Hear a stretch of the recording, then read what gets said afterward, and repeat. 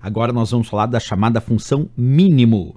Pessoal, a função mínimo, que é o contrário da função máximo, retorna o valor mínimo de um conjunto de argumentos. Lembrando que nesse caso da função mínimo e também da função máximo, os valores lógicos e textos são ignorados pela função.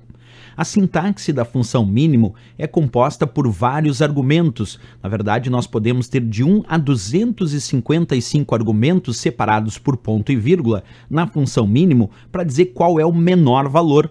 Então, observa comigo na prática em primeiro lugar. Eu vou fazer o seguinte aqui com vocês. Eu vou abrir aqui passo a passo o Excel e aí vou mostrar para vocês um exemplo de aplicação da função mínimo e logo depois desse exemplo, então, eu vou construir com vocês aí uma fórmula e uma função dentro de uma questão de prova. Então acompanha comigo agora uh, um passo a passo. Primeiro, nós vamos digitar aqui alguns valores, como 8, 1, 9, vamos colocar 2, 7 e 5. E agora eu vou construir uma função mínimo aqui com vocês, ó, igual mínimo, mínimo, abre parênteses e vou colocar no meu primeiro exemplo A1, 2 pontos C2, indicando que eu quero então o menor valor do intervalo que vai da célula A1 até a célula C2. Lembrando que dois pontos significa intervalo, então quando eu boto o mínimo A1, dois pontos C2, eu estou dizendo é o menor valor, é o mínimo da célula A1 até a célula C2, que são essas que estão nesse retângulo azul ali que vocês podem identificar. Qual é o menor valor aí? É o 1. Então quando eu pressionar Enter, a resposta é 1, porque eu pedi o mínimo, o menor valor.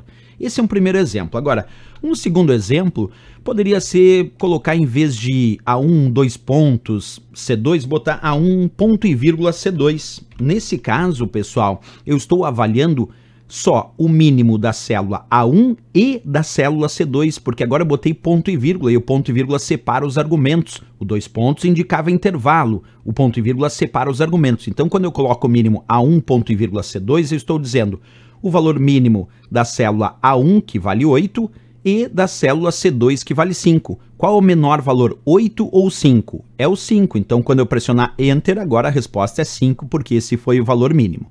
Pois bem, mas isso aplicado numa questão de prova já sugere um grau de dificuldade um pouquinho maior essa questão que eu vou mostrar para vocês. Acompanha comigo, ela diz assim: considerando o aplicativo de escritório Microsoft Excel versão 2013 com instalação padrão em português, qual será o resultado da resolução da expressão a seguir? Igual mínimo, abre parênteses 3, acento circunflexo 2, ponto e vírgula 3, asterisco 3, menos 1, fecha parênteses.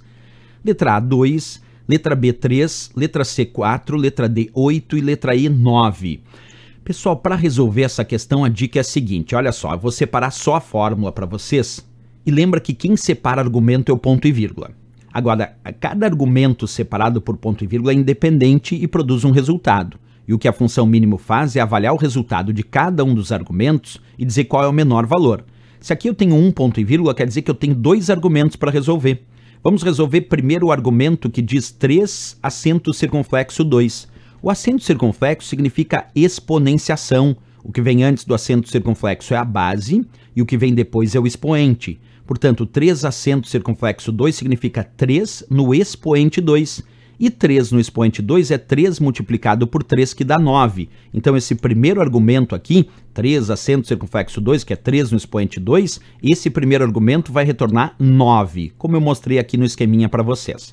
Agora, o segundo argumento tem asterisco, que é multiplicação, e tem um menos aqui, que é subtração. Então, é 3 multiplicado por 3 menos 1. Bem, 3 multiplicado por 3 é 9 menos 1.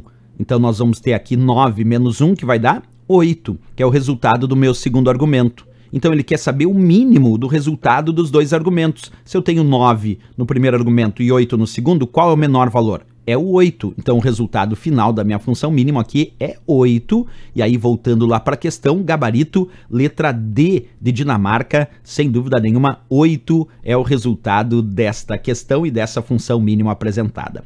Certo, pessoal?